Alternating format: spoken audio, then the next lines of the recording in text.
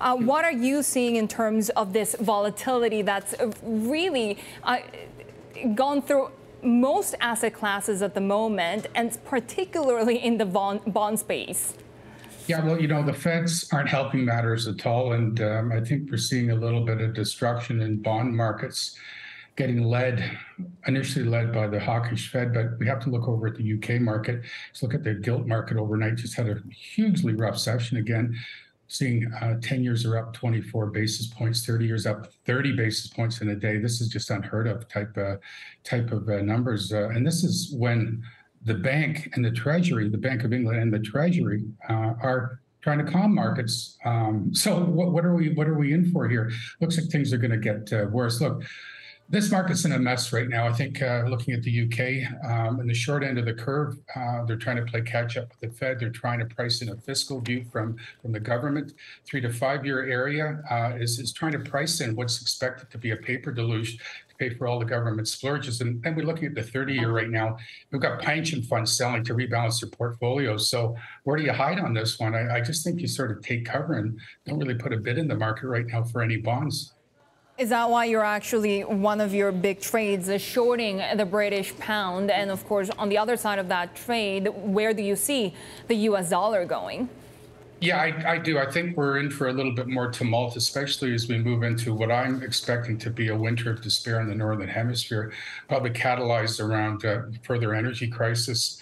Uh, I do think energy goes up, and I think this will contribute uh, to a lower pound, along with the malaise that we're having on in bond markets, and probably some, you know, the interest rate hikes from from the Bank of England are going to be so aggressive that they're going to tank the economy for sure.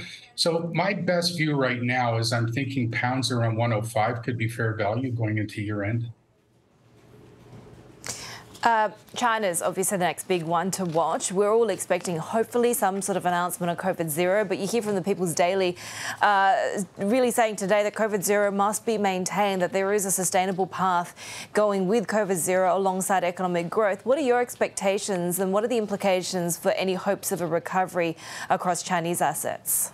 You know, we're, we're always hoping that they're going to step back uh, from these. COVID policies, especially over here in Asia, where a lot of the economies are very much dependent on travel. Like I'm in I'm in Thailand right now. Although we're doing quite well on the tourism side, we're really missing that Chinese influx to drive the economy stronger. But I think this also permeates a lot of other uh, industries within within the Asian complex. I think markets were fingers crossed, hoping that we could see a pivot. But look what happened in Shanghai yesterday.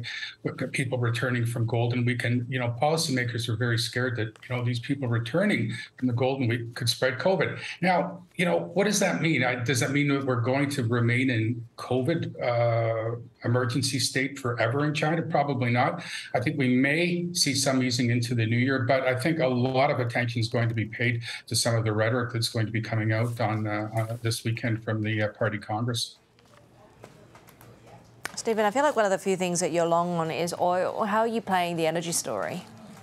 Yeah, well, oil is a little bit down today. I think we're we're we're getting back into the uh, uh, demand uh, cycle, offsetting the tight markets. But I think this is only temporary. I think um, you know, as we move forward here, I think demand in the U.S. will continue to remain strong. It seems like the consumers are very, very resilient. China's, uh, although you know, there's, there's, they're, they're moving back into COVID. There's still evidence of reopening narrative happening in China. Economies continue to do okay, not great, mind you, but it's still holding up somewhat.